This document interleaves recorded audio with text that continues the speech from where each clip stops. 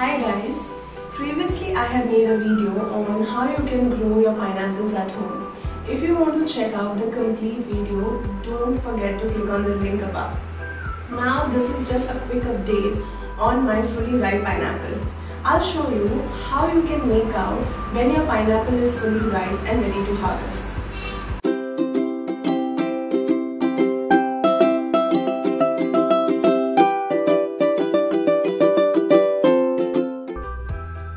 Months ago, my pineapple looked like this.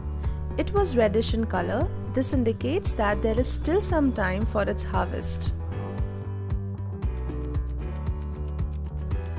The most important sign is your pineapple should be consistently yellow golden in color from top to bottom.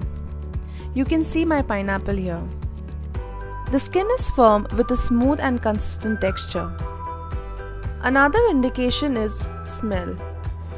I have started getting the sweet smell of pineapple all over my place and this is the perfect time to harvest your fruit. I'm so excited because I was waiting for this fruit to grow this big and then I can simply cut it and get it on the plate.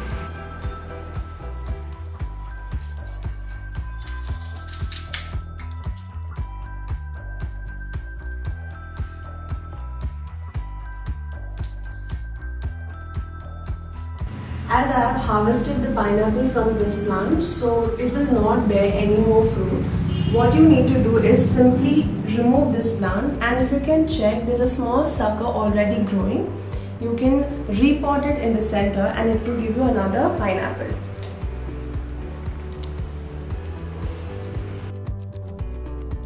Let's see how the pineapple turns out to be.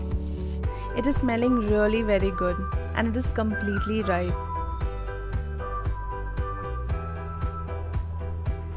Fortunately, I have harvested it in perfect time. Now I won't be throwing this crown, instead I'll just keep the stalk in water and then plant it once it gets enough roots.